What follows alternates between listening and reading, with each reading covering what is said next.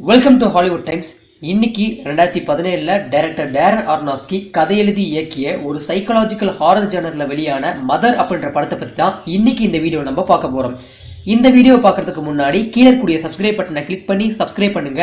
And பக்கத்தில் இருக்க அந்த பெல் ஐக்கானையும் கிளிக் பண்ணுங்க. இந்த படத்தில் லீட் ரோல் பண்ணியிருக்காங்க Jennifer Lawrence Javier Bardem Ed Harris Michelle Pfeiffer cinematography பண்ணது மைக்கேல் லெபெக்யூ டிஸ்ட்ரிபியூட் பண்ணது பேரமௌண்ட் பிக்சர்ஸ் ஐஎம்டிபி ரேட்டிங் பார்த்தீங்கன்னா சிக்ஸ் பாயிண்ட் சிக்ஸ் படத்துடைய பட்ஜெட் வந்து thirty million American dollars plus box office collection forty four point five million American dollars இந்த படம் Venice international film ஃபெஸ்டிவலில் golden line அவார்டுக்கு பரிந்துரைக்கப்பட்டிருக்கு. Mother இந்த படத்தில் ரிலிஜியன்ஸை பற்றியும் வேர்ல்டு பொலிட்டிக்ஸை பற்றியும் அண்ட் இப்போ நடக்கக்கூடிய சொசைட்டியை பற்றியும் கூட ரொம்பவும் சைக்கலாஜிக்கலாக வைலண்ட்டாக பேசியிருப்பாங்க. அதனால தான் இந்த படம் எனக்கு ரொம்பவும் சேலஞ்சிங்காக அமைஞ்சது. இப்போ இந்த படத்துல பைபிளுடைய நிறைய விஷயங்களை நீங்க கனெக்ட் பண்ணி பார்க்கலாம்.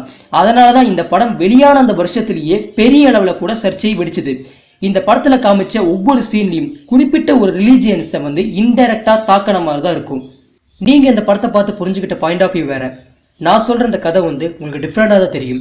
சொன்ன கதை. பைபிளோடைய நிறைய சிம்பாலிக்கா கனெக்ட் ஆகும். உங்களுக்கு புரியும்படியா சொல்லணும்னா ஜெனிஃபர் லாரன்ஸ் அவங்க தான் மதர் நேச்சர் அதாவது இயற்கை எண்ணெய். அவங்க ஹஸ்பண்ட் ஜேவியர் பாடம் அவர் தான் காட் அதாவது கடவுள். அவங்க தங்கியிருந்த வீடு இருக்குல்ல அதுதான் நம்ம வாழக்கூடிய பூமி. அவங்க வீட்டுல முதல்ல வந்து ஒரு டாக்டர் ஒருத்தர் வருவான்ல அவன் தான் ஆடம் அதாவது உலகத்துல முதல் முதலா படைக்கப்பட்ட மனிதன். அடுத்த சீன்ல அவரோட வைஃப்னு சொல்லிட்டு ஒரு லேடி வருவாங்கல்ல அவங்க தான் ஏவா.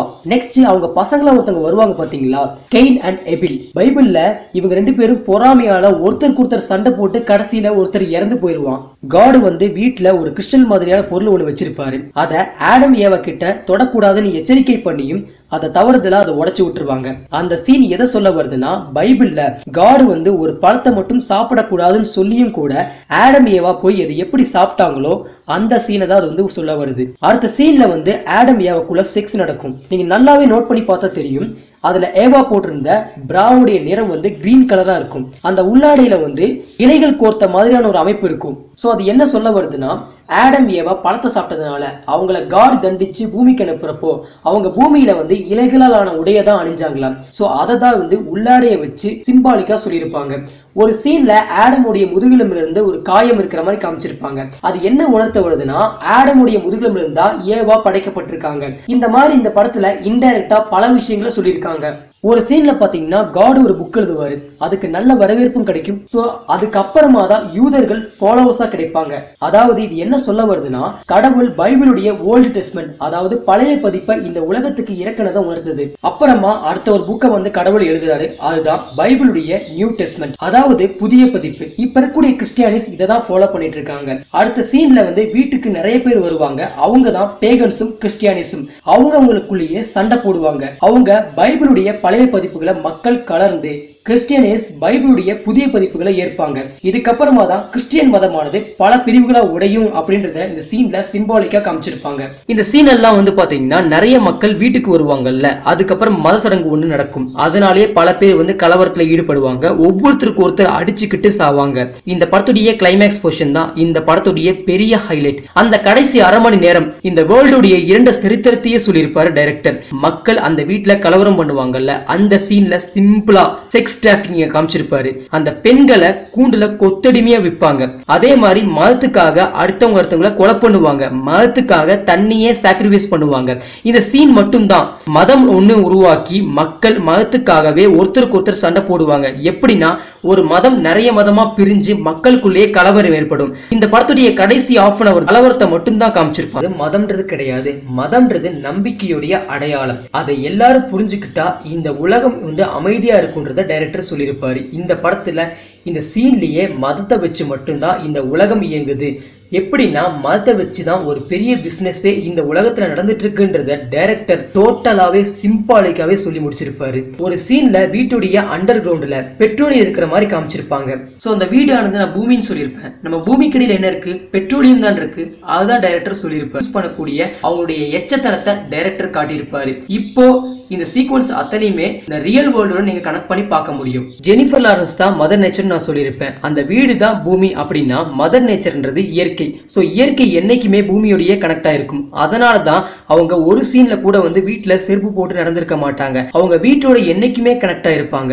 அதனால தான் ஆடமை வந்து ஸ்மோக் பண்ண கூட அலோவ் பண்ண மாட்டாங்க. ஏன்னா எர்த் பொல்யூட் ஆகுது இல்ல இடையில ஒரு சீன்ல வந்து பேஸ்மெண்ட்டுக்கு போவாங்க. அங்க எல்லோ கலர் லைட்ல ரத்தம் வந்து ரெட் கலரா கவர் ஆயிருக்கும். ஸோ அது பைபிள்ல வந்து இந்த இந்த உலகம் அழிய போகும்போது சூரியன் வந்து ரெட்டா மாறும். அதை தான் வந்து உணர்த்தது அந்த எல்லோ கலர் பல்பு தான் சூரியன்னா அந்த பிளட் லைன் வந்து அந்த இறந்த சகோதரனோடது. அது நம்ம பூமியில் நடந்த முதல் கொலையை குறிக்குது. நம்ம சூரியன் கிரகணத்தப்போ பிளாக்கா மாறும். நிலவு ரெட்டா மாறும். அந்த பல்பு தான் நம்ம சூரியனும் நிலவும். மதர் நேச்சருக்கு மட்டும்தான் இந்த வீட்டோட கனெக்ட் ஆக முடியும். சோ அந்த எர்த்துக்கும் உயிர் இருக்குன்ற மாதிரி தான் காட்டியிருப்பாங்க. அதனாலதான் அவங்களால வந்து வீட்டை விட்டு வெளியில போக முடியாது. படத்துடைய ஒரு சீன்ல வந்து இறை தூதர் மோசஸ் காலத்துல எகிப்தில் நடந்த சோதனைகளை வந்து காட்டியிருப்பாங்க. ஃபர்ஸ்ட் போல் ஆஃப் பிளட் அந்த ரத்த வெள்ளம். இந்த வீட்டில் வந்து ஒரு சீக்வன்ஸ்ல ரத்தம் வந்துகிட்டே இருக்கும். செகண்ட் ஃப்ராக் அதாவது தவளை. பேஸ்மெண்ட்ல மதர் தவளையை தான் பார்ப்பாங்க. மோசஸ் காலத்துல எகிப்துல தவளைகள் மட்டும்தான் வருமா? தேர்ட் இன்செக்ட் ஒரு சீன்ல வந்து பாத்தீங்கன்னா வீட்டுல மதர் வந்து ஒரு பூச்சியை பார்ப்பாங்க. டாய்லெட்ல அந்த பூச்சி வந்து வீட்டுக்குள்ள இருந்து வெளியே போக முடியாம சாகும். ஃபோர்த் கோடு மிருக கூட்டம் இந்த சீன்ல வந்து பாத்தீங்கன்னா மிருக கூட்டம்ன்றது வந்து நம்ம மனிதர்கள் தான் டிசீஸ் வீட்டுல வந்து ஒரு தேனி பூச்சி வீட்டு விட்டு வெளியே போக முடியாம செத்து போகும். சிக்ஸ்த் சிக் படத்துடைய ஃபர்ஸ்ட் ஹாஃப்ல ஆடமுக்கு உடம்பு சரியில்லாம இருக்கும். செவன்த் ஃபிளட் அதாவது வெள்ளப்பெருக்கு. ஒரு சீன்ல வந்து பாத்தீங்கன்னா அவங்க வீட்டுக்கு நிறைய பீப்புள்ஸ் வருவாங்க. அதுல குறிப்பிட்ட ரெண்டு பேர் மட்டும் அவங்க வீட்டுல இருக்கக்கூடிய சிங்கை உடைச்சு விட்டுருவாங்க. மதர் நேச்சர் வேண்டாம்னு சொல்லியும் அப்போ மதர் நேச்சருடைய கோவத்தை நீங்க பாப்பீங்க. அந்த கோபம் தான் அந்த இடம் உடைஞ்சு வெள்ளப்பெருக்கா ஏற்படும். எயித் லூக்கஸ் அதாவது வெட்டுக்கிளி. இந்த மூவில வந்து பீப்புள்ஸ் தான் வெட்டுக்கிளி. ஏன்னா அவங்க தான் படையெடுத்தே வருவாங்க. நைன்த் டார்க்னஸ் அந்த பல்பு உடஞ்சி டார்க்கா மாறும். தென் நைட் டைம்ல வந்து பாத்தீங்கன்னா கலவரம் உண்டாகும். Tenth death of the firstborn இந்த படத்துல மதர் நேச்சருக்கு ஒரு குழந்தை பிறக்கும். ஸோ அந்த குழந்தை தான் ஜீசஸ் அந்த குழந்தைய தான் கேனிபிலிசம் பண்ணுவாங்க. ஜீசஸ் இறந்த பிறகு அவருடைய இறந்த அந்த உடல்ல ரத்தத்தை வந்து ஒரு கோப்பை தாங்கினதாகவும் ஒரு கதை இருக்கு. அந்த கதையை தான் இந்த குழந்தையுடைய நரமாமிசத்தை சாப்பிட்றத வச்சு சொல்லியிருப்பாங்க. ஒரு சீன்ல வந்து பாத்தீங்கன்னா ஜேவியர் பாடமும் ஜெனிஃபர் லாரன்ஸும் செக்ஸ் வச்சுக்கிற மாதிரி காட்டுவாங்க. ஆனா உண்மையாவே அவங்க ரெண்டு பேரும் கிஸ் தான் பண்ணிருப்பாங்க அடுத்த நாள் வந்து பாத்தீங்கன்னா ஜெனிஃபர் லாரன்ஸ் வந்து பிரெக்னன்ட்னு சொல்லுவாங்க. அது என்ன சொல்ல வருதுன்னா ஜீசஸ் கிறிஸ்ட் ஒரு வேர்ஜின் பெண்ணுக்கு தான் பிறந்தவர்னு சொல்ல வருது. மதர் நேச்சருக்கு அவங்க வீட்டை வந்து மக்கள் ஆக்குபேட் பண்றது பிடிக்கவே பிடிக்காது. ஒரு சீன்ல வந்து நீங்க பாப்பீங்க மக்கள் எல்லாருமே அந்த வீட்டை கொள்ளையடிப்பாங்க. சில பேர் வந்து தன்னுடைய இடம் மாதிரி உரிமை கொண்டாடுவாங்க. இது என்ன சொல்ல வருதுன்னா வீடு தான் நான் பூமின்னு நான் சொல்லியிருப்பேன். மதர் நேச்சர்ன்றது இயற்கை. சோ எப்படி மக்கள் பூமியுடைய வளங்களை சுரண்டி தன்னுடைய சுயநலத்துக்காக இயற்கையை அழிச்சு தன்னுடைய பொருளாதாரத்தை மேம்படுத்துற மாதிரி இயற்கைக்கு சொந்தமான பூமியை அழிச்சா கடைசியில அந்த இயற்கை நம்மள அழிச்சிடும் அது டைரக்டர் வந்து பாத்தீங்கன்னா கிளைமேக்ஸ் போர்ஷன் சொல்லியிருப்பாரு. இந்த படத்துல டைரக்டர் டேரன் அருணாஸ்கியுடைய ட்ரேட்மார்க் இருக்கும். ட்ரெஸ்லயே கேரக்டர் சேஞ்ச் அவர் காட்டுவாரு. படத்துடைய ஸ்டார்டிங்ல மதர் நேச்சர் வந்து ஒயிட் ட்ரெஸ் போட்டிருப்பாங்க. அவங்களுடைய பியூரிட்டியை உணர்த்துது. ஸோ கடைசியில வந்து பாத்தீங்கன்னா மூவியுடைய எண்ட்ல வந்து அவங்களுடைய ட்ரெஸ் கலர் வந்து சேஞ்ச் ஆகும். ஸோ அவங்களுடைய கேரக்டரும் அதுல இருந்து சேஞ்ச் ஆகுது. இந்த மாதிரி டேரன் அருணாஸ்கி இந்த படத்துல வந்து பல சீக்வன்ஸை இன்டைரக்டா அமைச்சிருப்பாரு. ஸோ இவருடைய இயக்கத்துல requiem for a dream black swan ஆகிய ரெண்டு படங்கள் பத்தி என்னுடைய சேனல்லே நான் செப்பரேட்டா வீடியோ அப்லோட் பண்ணியிருக்கேன். அந்த வீடியோடைய லிங்க் வந்து பாத்தீங்கன்னா கீழே கூடிய டிஸ்கிரிப்ஷன்ல இருக்கு. தவறாம அதையும் பாருங்க படத்துல காட் அழிஞ்சு போன அந்த மதர் நேச்சருடைய இதயத்தை பிளந்து ஒரு கிறிஸ்டல் மாதிரியான ஒரு பொருளை ஒரு சீக்வன்ஸ்ல எடுப்பாரு. அது வந்து ஒரு இடத்துல வைக்கிறப்போ ஏர்த் எல்லாம் ரீக்ரியேட் ஆகும். இந்த நிகழ்வு வந்து பாத்தீங்கன்னா ஒரு என்லெஸ் லுப்பா திரும்ப திரும்ப நடந்துகிட்டே இருக்கும். மனிதர்கள் அழிஞ்ச பிறகு பூமி தன்னுடைய இயற்கையை மறுசீரமைச்சுக்கும் அப்படின்றத வந்து இந்த சீன்ல வந்து உணர்த்தி இருப்பாரு இந்த மதர் அப்படின்றது வந்து ஒரு சரியலிசம் பிலிம் இதுல நிறைய ஹிடன் டீட்டெயில் அண்ட் சிம்பாலிக் இருக்கு. சரியலிசம் அப்படின்னா ஒரு லியனார்டோ டாவின்சியுடைய கலை ஓவியத்தை எடுத்துக்கோங்களேன். அதுல மேலோட்டமா பார்த்தா ஒரு ஓவியமா தெரியும். ஆனா உள்ள அலசி ஆராய்ஞ்சு பார்த்தாதான் உங்களுக்கு ஏகப்பட்ட டீட்டெயில் கிடைக்கும். ஸோ அந்த மாதிரி தான் இந்த படம் பார்க்க பார்க்க நிறைய விஷயங்களை நீங்க கற்றுக்குவீங்க நான் சொன்ன டீட்டெயில்ஸ் எல்லாம் இந்த படத்துல இருக்கான்னு கேட்டா கண்டிப்பா கிடையாது. இந்த படத்துல எல்லாமே மறைமுகமாக தான் சொல்லியிருப்பாங்க. இந்த படத்துல ஒரு சீன்ல கூட வந்து ஒருத்தருடைய பேரையும் மென்ஷன் பண்ணிருக்க மாட்டாங்க. நடிச்ச எந்த கேரக்டருக்கும் பேரே இருக்காது. கடைசியில் என் கார்டுல கூட அவங்களுடைய ரோலை தான் வந்து மென்ஷன் பண்ணிருப்பாங்க இந்த படத்துக்கு மியூசிக் டைரக்டர் கிடையவே கிடையாது. சிங்கர் பேட்டி ஸ்மித் பாடிய எண்ட் ஆஃப் த வேர்ல்ட் அப்படின்ற ஒரு மியூசிக்கை மட்டும்தான் சின்னதாக ஒரு சீனில் யூஸ் பண்ணிருப்பாங்க இந்த படத்துடைய மூவி போஸ்டர் பாத்தீங்கன்னா நைன்டீன் சிக்ஸ்டி எயிட்ல டைரக்டர் ரோமன் பொலன்ஸ்கி டைரக்ஷன் பண்ணியிருந்த ரோஸ்மேரி பேபி அப்படின்ற ஒரு மூவியுடைய ரெஃபரன்ஸ் அந்த போஸ்டர்லயும் இருக்கு. இந்த படத்தோட பல சீக்வன்ஸ்ல எல்லோ கலர் இருக்கிற மாதிரி காமிச்சிருப்பாங்க. செவுத்துல அடிக்கிற கலர் வரையில இருந்து ஜெனிஃபர் லாரன்ஸ் அடிக்கடி யூஸ் பண்ற மெடிசன் வரைக்கும் எல்லோ கலரா தான் இருக்கும். அந்த மெடிசனை அவங்க கொஞ்ச நாள் மட்டும்தான் யூஸ் பண்ணியிருப்பாங்க. அதுக்கப்புறம் அவங்க வந்து யூஸ் பண்ண மாட்டாங்க. ஸோ அந்த எல்லோ மெடிசன் என்னன்றது தான் இந்த படத்துடைய பெரிய மிஸ்ட்ரி இது என்னன்றது இந்த படத்துடைய டைரக்டருக்கு மட்டும்தான் தெரியும். அதான் நான் உங்க சாய்ஸ்லேயே விட்டுறேன். நீங்களே கண்டுபிடிங்க. இந்த படத்துல ரெண்டு சகோதரர்கள் வருவாங்கல்ல.